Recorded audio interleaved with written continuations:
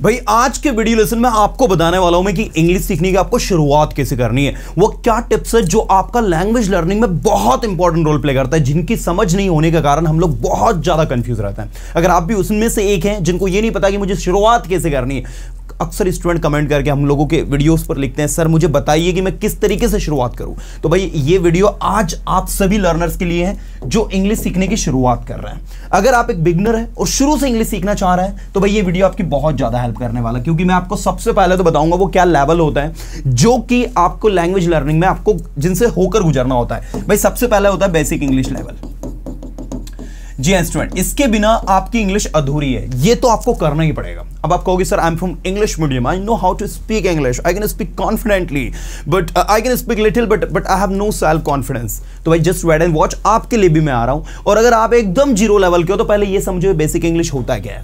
भाई, ये basic English level उन स्टूडेंट्स के लिए होता है जो नॉन नेटिव स्पीकर है, पहली चीज़। दूसरा हिंदी मीडियम से है। तीसरा उनको इंग्लिश के बारे में, Hindi medium Gujarati medium Marathi medium से है। तीसरा उनको इंग्लिश के बारे में कुछ भी नहीं पता है। तो उन लोगों को सबसे पहले जो है अपना बेसिक इंग्लिश जो है वो स्ट्रांग करना होता है। बेसिक इंग्लिश में उनको ये चीज़ समझनी होती है कि लैंग्वेज लर्निंग में कैसे उन्हें सारी चीज़ों को बहुत अच्छे से क्लियर करना है। उनको सबसे पहले जो क्लियर करना है वो करना होता है सेंटेंस मेकिंग जी हाँ सबसे पहले उनको क्लियर करना होता है सेंटेंस मेकिंग अगर उनका सेंटेंस मेकिंग बहुत अच्छा हो जाएगा, उनको हर वो सेंटेंस बनाते आ जाएगा जो उनको बनाते आना चाहिए। हर वो सेंटेंस से मेरा मतलब है असर्टिव अफर्मेटिव नेगेटिव दोनों। इंटरगेटिव डब्ल्यू वाला भी और इंटरगेटिव जिसकी शुरुआत हेल्पिंग ऑफ़ से होती है, वो भी इंपेरेटिव ऑप्टेटिव एक्सक्लेमेटरी इनकी समझ जो है सबसे पहले हमको डेवलप करनी है। और आपको बता दूँ, इसमें आपको ज़्यादा कुछ स्टडी नहीं करना है। टेंसेस स्टडी करना है। कुछ मोडास वर्ब स्टडी करनी है। टू बी टू हैव और करीब 300 के लगभग बेसिक वर्ब्स जो होती है, वो आपको लर्न करनी होती है। और कुछ आठ से दस इंपेरेटिव सेंटेंसेस ये सबसे पहले आपको लर्न करना है. इनको अफर्मेटिव नेगेटिव इंटरगेटिव तीनों में आपको स्टडी करना है. अगर मैं टेंसेस की बात करूँ तो टेंसेस को भी अफर्मेटिव नेगेटिव इंटरगेटिव तीनों में स्टडी करना है. आपका सेंटेंस मेकिंग स्ट्रांग हो जाए. आप किसी भी चीज़ को, जैसे आपने कहा, मैं घर पर हूँ तो इसकी इंग्लिश क्या होगी? इसकी इंग्लिश होगी आई एम एट होम तुम वहाँ क्या कर रहे हो? What are you doing there तुम्हें वहाँ नहीं जाना चाहिए। You should not go there you are not suppose to go there तुम्हें उसकी मदद करनी पड़ेगी क्योंकि वो तुम्हारा दोस्त है। You will have to help him because he is your friend तो ये जो सिंपल सा सेंटेंस मेकिंग है भाई, ये आप लोगों को सबसे पहले कंप्लीट करना है। And once you complete your basic English you are ready for the semi advance जी हाँ। This is the semi advance level जो कि सेकंड लेवल आपका होता है, और थर्ड लेवल आपका होता है एडवांस इंग्लिश लेवल तो मैं आपको सबसे पहले बताना चाहूँगा कि आपको बेसिक इंग्लिश में ये कंटेंट बहुत अच्छे से इंप्रूव करना है, बहुत अच्छे से समझना है। आपके ब्रेन के अंदर जितने भी सेंटेंसेस चल रहे हैं, वो सारे सेंटेंसेस हिंदी टू इंग्लिश आपको ट्रांसलेट करना सीखना है। इसमें आपको बेसिक इंग्लिश में ही कुछ आठ से दस प्रिपोशन सीखनी है, आठ से दस कंजंक्शन सीखनी है, आठ से दस प्रिपोशन में in in to with in on at upon from by with since for बस यही प्रिपोशन आपको लर्न करना है इनिशियली इसके बाद जब आप धीरे धीरे आपका लेवल बढ़ता जाएगा एंड आप जब सेमी एडवांस पर जाओगे तो आपको एडवांस लेवल की जो प्रिपोशन है, वो भी स्टडी करनी है। आपको फ्रेजल प्रिपोशन है, वो भी स्टडी करनी है। लेकिन शुरू में बेसिक इंग्लिश में, और मुझे जहाँ तक ऐसा लगता है, भाई in in to with in on at upon सारे बच्चों को आता है। अगर आप इंग्लिश का कोर्स कर रहे हो, या फिर अगर नहीं भी कर रहे हो तो अगर आपसे मैं पूछूँ कि बताइए इन क्या होता है? तो छोटा बच्चा बता देगा इन मतलब मैं होता है। मैंने बोला इनका साइंटिस्ट बताओ तो बोले, मैं दिल्ली में हूँ आई एम इन दिल्ली। मतलब इतनी समझ तो हम सबको है। और मान लीजिए अगर आपको इतनी समझ भी नहीं है तो भाई आठ से दस प्रिपोशन ये आप बेसिक इंग्लिश में ज़रूर कर लेना।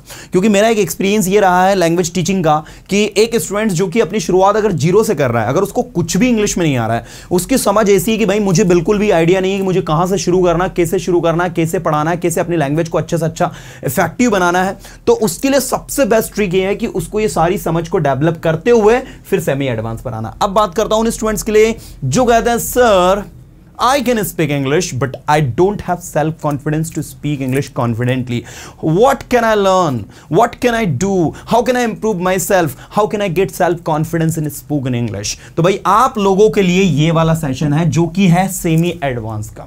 इसमें आपको क्या करना है? इसमें आपको करना होता है how to ask question and how to answer जी हाँ student how to ask question and how to answer ही वो टेक्निक है जिसकी मदद से आप किसी भी क्वेश्चंस को पूछ सकते हैं और उस क्वेश्चन को आंसर कर सकते हैं। लेट मी टेल यू कि परसोना इंस्टीट्यूट ने अपनी बुक में करीब 2000 प्लस में क्वेश्चंस ऐड किए हैं। और उसमें से 2000 प्लस के लगभग जो क्वेश्चन है, उसमें से 1000 क्वेश्चंस तो हमने हमारे टेलीग्राम ग्रुप में ऐड किए हैं, आपको प्रैक्टिस के लिए दिए हैं।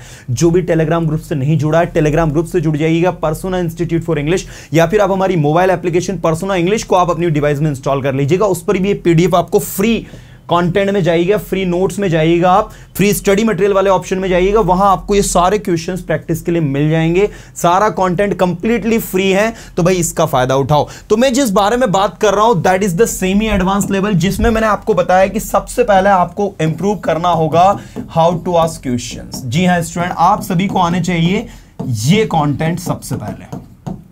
दूसरा आपको आना चाहिए how to answer how to answer इसलिए आना चाहिए कि जो पूछा है वो आपसे बने. तीसरा, आपको रीडिंग पर भी आप थोड़ा सा वर्क करना होता है सेकंड लेवल में.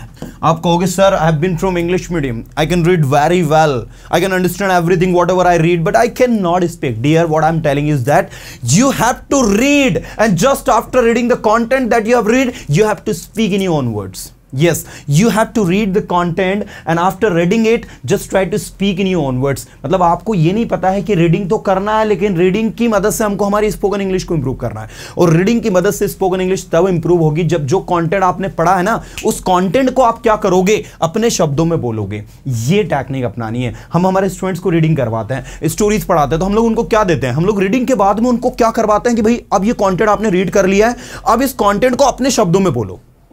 और जब वो अपने शब्दों में किसी कंटेंट को बोलते हैं ना तो आप बिलीव नहीं करेंगे, वो अपने अंदर एक बहुत बड़ा चेंजेस फील करते हैं। वो अपने अंदर ये फील करते हैं कि यार, जो चीज़ उनको टफ लग रही है टिपिकल लग रही है डिफ़िकल्ट लग रही है, वो आसान हो गई। क्योंकि आपने रीडिंग की मदद से क्या किया? आपने रीडिंग की मदद से अपनी स्पोकन इंग्लिश को इंप्रूव किया है। और यही वो टेक्निक है जो आपकी लैंग्वेज लर्निंग में बहुत ज़्यादा इंपॉर्टेंट रोल प्ले करती है। इसके अलावा आप लोगों को इसमें सबसे इंपॉर्टेंट जो है, वो ये कॉन्सेप्ट समझ में आना चाहिए स्टोरी टेलिंग का। मैंने देखा है कि स्टूडेंट्स स्टोरी टेलिंग में बहुत ज़्यादा वीक होते हैं। रीजन होता है कि, होता क्या है कि भाई उनसे कहा गया कि चलो, कल जो आपने काम किया वो आप बताओ। तो वो ज़्यादातर सेंटेंस प्रेजेंट के बनाते हैं। I am go to school I am I am I am I am होता। आप किस बारे में बात कर रहे हो? You are talking about the incident you are talking about the particular activities that you perform your study so this time you have to use simple past tense और सिंपल पास टेंस को use करने के लिए आपको बोलना होगा, मैं वहाँ गया। आई वेंट देयर मैं यहाँ आया. आई कैम हियर कल मैंने कुछ नया किया. I did something new yesterday you know तो ये स्ट्रैटेजी आपको अपनानी पड़ेगी. और जब ये स्ट्रैटेजी आप अपनाओगे ना तो आप वाकई में अपने अंदर एक चेंजेस फील करोगे. आपको लगेगा कि आप कुछ नया सीख रहे हो। आपको लगेगा कि आप अपने आप को इंप्रूव कर रहे हो। आपको लगेगा कि आप कुछ अच्छा ग्रो करने की ओर जा रहे हो। तो ये है आपका सेमी एडवांस लेवल जिसमें ये चीज़ आप लोगों को आनी चाहिए। इसके अलावा आपको इसी में है ना सेमी एडवांस लेवल में फॉर्मेशन ऑफ़ वर्ड भी आपको सीख लेना है। भाई फॉर्मेशन ऑफ़ वर्ड्स आपको वैसे तो एडवांस लेवल में मैं आपको बताऊँगा, लेकिन इसमें थोड़ी समझ आपको होनी चाहिए कि आपको नाउन से एडजेक्टिव एडजेक्टिव से नाउन जो है बनाते आना चाहिए। अगर वो आपको बनाते आ गया तो आप अप टू द मार्क काफ़ी अच्छा कर लोगे। चलिए थर्ड लेवल पर मैं आपको लेकर चल रहा हूँ that is the advance level भाई, इसमें आपको क्या करना है? इसमें आपको newspaper reading and story reading ये दोनों चीज़ें साथ में करनी है। ठीक है? इसके बाद में आपको ये करने के बाद में आप लोगों को इडियम्स एंड कुछ फ्रेजेस जो है वो लर्न करने हैं। अपनी लैंग्वेज में थोड़ा सा स्टैंडर्ड uh, लाने के लिए क्योंकि होता क्या है कि हम लोग सीख तो गए we are able to speak now because after completing semi advance we can speak English हम बोल सकते हैं इंग्लिश क्योंकि जहाँ आपने क्वेश्चन आंसर की प्रैक्टिस करी जहाँ आपने स्टोरी को रीड किया स्टोरी को समझा और उससे पहले बेसिक इंग्लिश के माध्यम से आपने टेंस की समझ को डेवलप किया तो स्टूडेंट्स का ब्रेन इतना प्रिपेयर हो जाता है कि ही कैन स्पीक और अगर आप मान लीजिए दोनों लेवल को कंप्लीट करने के बाद भी आप इंग्लिश नहीं बोल पा रहे हो तो मैं आपसे कहूँगा कि आपको फिर भैया यहाँ पर थोड़ी सी प्रॉब्लम है कि आपने अपने बेसिक इंग्लिश को अच्छे से कंप्लीट नहीं किया। बेसिक इंग्लिश में मैंने फिर आपको बताया था, आपका ट्रांसलेशन अच्छा होना चाहिए। आपके ब्रेन के अंदर जितने भी सेंटेंसेस चल रहे हैं, मैं घर पर हूँ आई एट होम में इंग्लिश सीख रहा हूँ लर्निंग इंग्लिश में इंग्लिश सीखना चाहता हूँ I want to learn English में आपकी मदद करूँगा आई विल हेल्प यू मैं आपकी मदद कर सकता हूँ आई कैन हेल्प यू ये सारा का सारा जो सेंटेंस मेकिंग है, ये आपका स्ट्रांग होना चाहिए। ये अगर आपका स्ट्रांग हुआ तो आप सेकंड लेवल सेमी एडवांस के लिए तैयार हो जाओगे और आपका सेमी एडवांस कंप्लीट हुआ you are ready for the advance level तो एडवांस लेवल पर पहुँचने के लिए आप लोगों को यह चीज़ आनी चाहिए। तो एडियम्स ऑफ़ फ्रेजेस में बहुत इंपॉर्टेंट रोल प्ले करेंगे। थर्ड आप लोगों को कुछ प्रोवर्ब्स जो है वो प्रिपेयर करनी है इसमें। जी हाँ प्रोबब्स करीब अगर आपको 40 टू 50 प्रोबब्स याद आ गई, मैंने कहा डायमंड कट्स डायमंड लोहा लोहे को काटता है। तो ऐसे कुछ प्रोबब्स जो है ना, ये आपके लैंग्वेज में एक वज़न समझते हो एक भारीपन आ जाता है। आपकी लैंग्वेज अच्छी साउंड होती है when you use an expression any idiom any proverb so ये आपको सारी चीज़ें जो है यूज़ करनी होती है। इसके अलावा आप अपने एडवांस लेवल की इंग्लिश को इंप्रूव करने के लिए एक बहुत प्यारा काम ये भी कर सकते हो कि आपने न्यूज़पेपर रीडिंग में जो भी न्यूज़ आपने पढ़ी है। Just try to speak that news in own words उस न्यूज़ को अपने शब्दों में बोलो।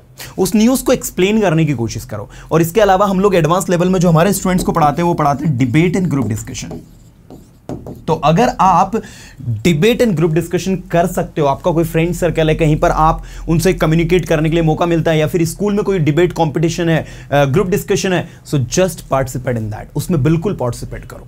इसके अलावा पब्लिक स्पीकिंग भी होता है. ये भी सबसे बेस्ट सोर्स है. पब्लिक स्पीकिंग में आपको किसी टॉपिक को प्रिपेयर कर कर लोगों के सामने बोलना होता है. तो आपकी स्कूल में अगर कोई स्पीच कॉम्पिटिशन हो तो बिल्कुल आप उसमें पार्टिसिपेट करें. इसकी मदद से आप अपनी लैंग्वेज को इंप्रूव करें. तो ये कुछ ऐसे चीज़ें हैं जिनके बारे में आज मैंने आपको बात करी. और ओवरऑल मैंने आपको ना क्या किया है? मैंने आपको पूरा स्पोकन इंग्लिश का कोर्स एक्सप्लेन कर दिया कि भाई ये इंग्लिश के स्टेप्स हैं जिनकी मदद से हमें सीखना है।